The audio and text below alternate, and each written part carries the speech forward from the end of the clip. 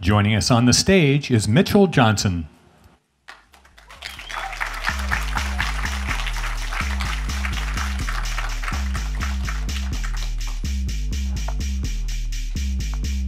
Hello everyone, how you doing? Uh, so my name is Mitchell Johnson. So before we start this presentation, I'd like to give you guys a background about a great person in my life. It's my grandmother in the middle. Her name is Maurice Johnson. Uh, she was an educator at a school entitled Garden City Elementary. It was located on Houston, Texas's north side. That's where I'm from. That's my roots. And it housed a space for students to learn about their history. Uh, they could host talent shows, socialize, and just be themselves. Integration was happening at the same time too, so uh, students were getting bused into other areas. So there was like this uh, modular aspect of cultures and different ideas being produced. But I took inspiration from my grandmother as an artist and educator, and I moved to New York City. I got to teach students of these same backgrounds, uh, some that weren't exposed to graphic design and art, some that didn't get to go to museums and be exposed to other artists' bright ideas. I also got the chance to show my own work. I'm a fine artist and graphic designer, so I like to show my work from time to time. To get inspiration, I go to museums. I go to the Guggenheims, I go to the MoMAs, Museum of Art and Designs, you name it, new museums.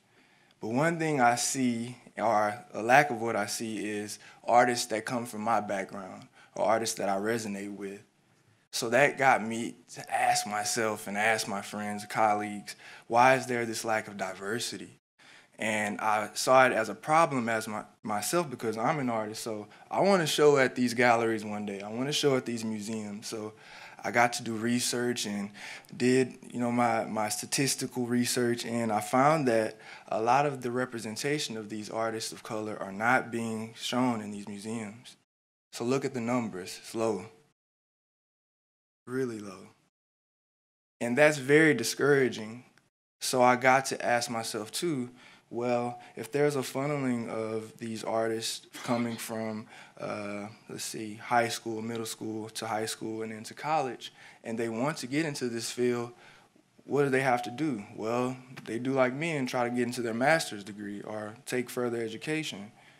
And then still we see low numbers.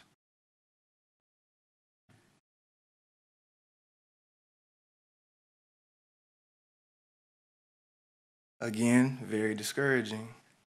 So to combat this, I came up with a project entitled Plex.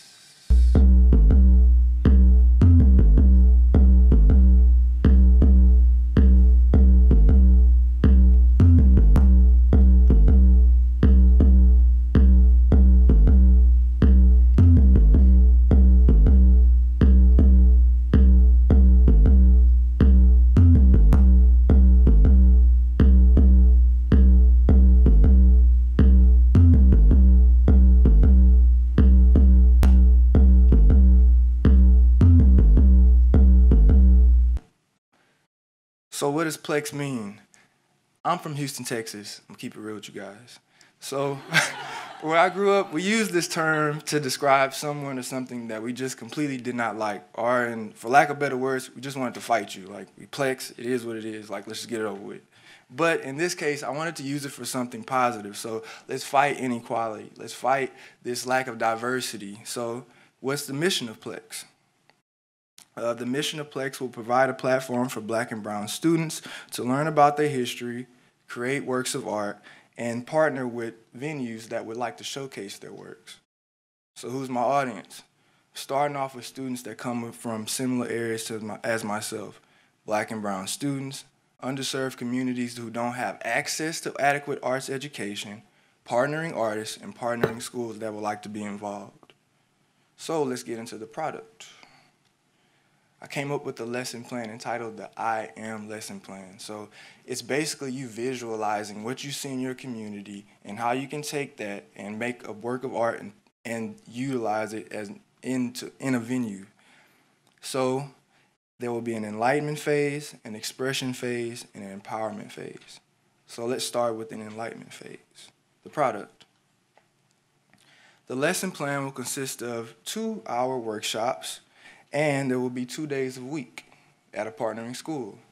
So students will learn a fundamental art and design uh, lesson and also how to create projects based on community observation. So there'll be critical thinking skills happening at the same time. They will not just be making works just because.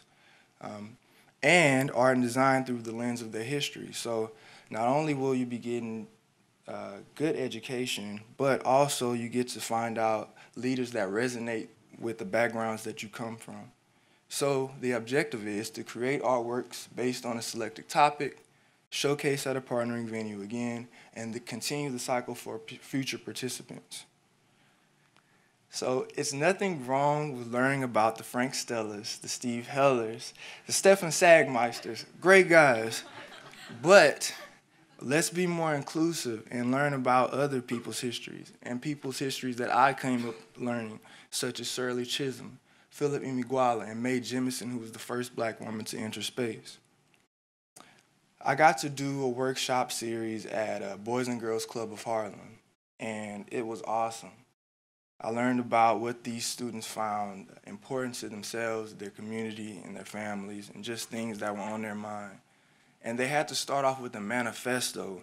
So I want to see how powerful you are, but you have to write it down because that makes it real. That makes it that puts it into fruition.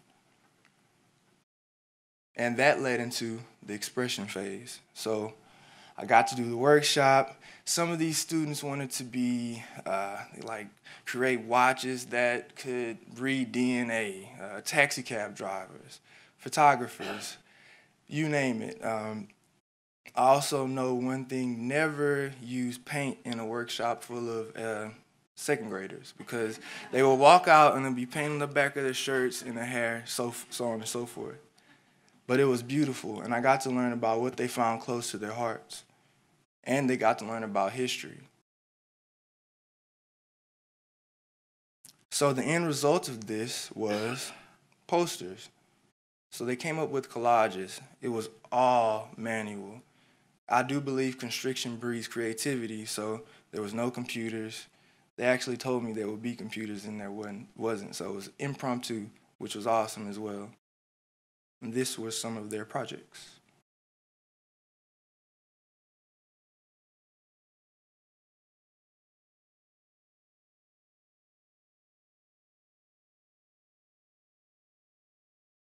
So to continue the process, I said, why not show it at a venue? So I formed a poster exhibition for their works. So getting back to why this is important, I got insights from my mentor and his partner, Joseph Coulier and Shawnee Peters. And he states it is hard for black men to get exposure as artists and twice as hard for black women. So now we don't see the diversity in these museums and we don't see other people's ideas or my people's ideas.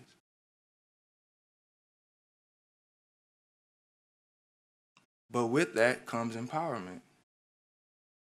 I showed the students' works at Sugar Hill Children's Museum, and the beautiful thing about that museum is it functions as a space for low-income housing, and also it houses a museum. So they hold workshops there. So it was really hands-on, and it was amazing working with other artists and other students while the work was being presented. So in the future, I want to continue this process and have more workshops. Use cameras, use technology to further the students' works. And also partner with other donors and stakeholders who would like to be a part of the program. So they can see the cycle of something nice, some, something that means that is meaningful. And to show the students' work, there will be a website and the website will be a portal for you to engage with the students' works, engage with the teachers, and engage with the venues that we partner with.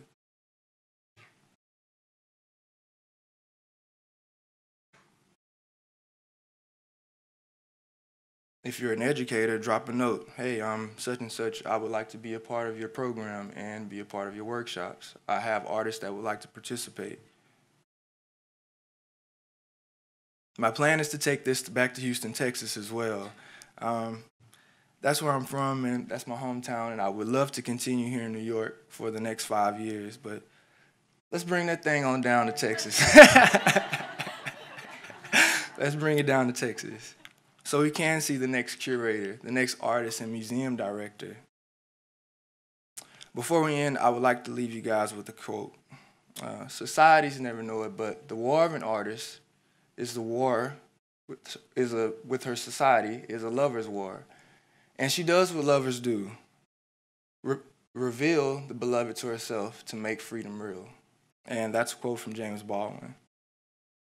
If you're an educator, an artist, or just someone who would like to be involved, I would love for you to be in contact with the portal. So email me, drop a line through the web, and I'm always on Instagram. So check it out. Thank you.